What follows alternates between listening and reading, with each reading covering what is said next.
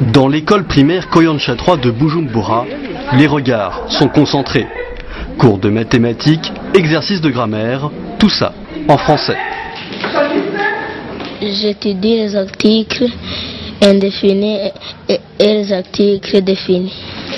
Au Burundi, les enfants s'expriment surtout dans la langue nationale, le Kirundi. Pour maintenir et valoriser sa présence, la francophonie a décidé de fournir des formations aux instituteurs.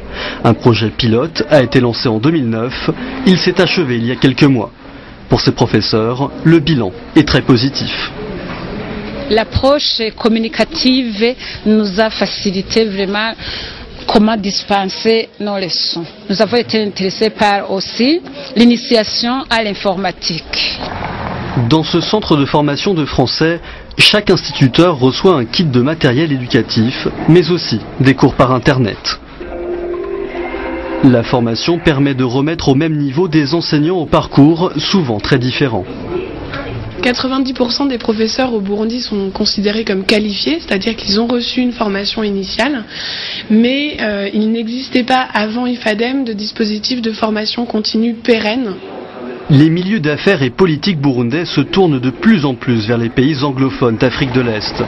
Mais le ministère de l'Éducation soutient ce programme, même si le français reste peu parlé en dehors de l'école et des administrations.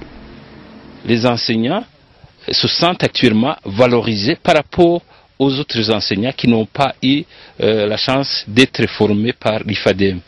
Et aussi le milieu environnant apprécie fortement les enseignants qui viennent euh, de faire une année avec la formation IFADEM.